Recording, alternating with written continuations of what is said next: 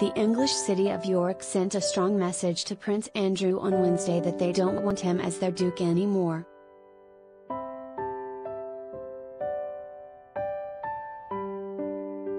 Council members voted to remove his Freedom of the City status, an honor he was given in 1986 when he married Sarah Ferguson.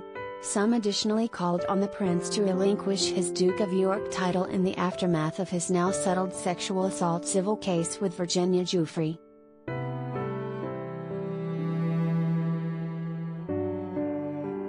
The decision to strip Andrew of the status was unanimous, according to Darryl Smalley, the City of York Council's executive member for Culture, Leisure and Communities.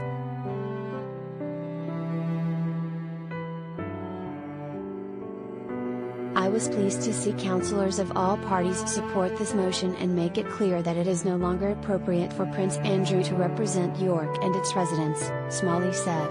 The removal of this honorary title sends the right message that we as a city stand with victims of abuse.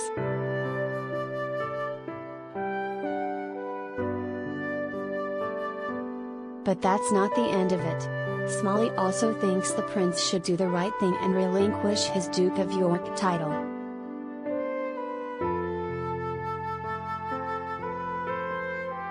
Smalley added, if he fails to do so, the government and Buckingham Palace must step in to remove his title to finally end Prince Andrew's connection to York.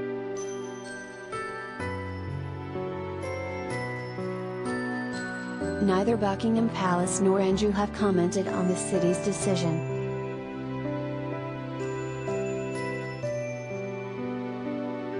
Still, it's just the latest disgrace to befall the prince since the settlement was announced in February. In addition, he has been officially stripped of his military affiliations and royal patronages and gave up his honorary membership of the Royal and Ancient Golf Club of St. Andrews, one of the world's most prestigious golf clubs.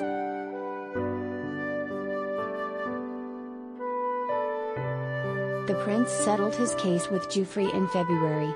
She claimed disgraced financier Jeffrey Epstein had trafficked her to have sex with Andrew when she was 17, according to The Guardian.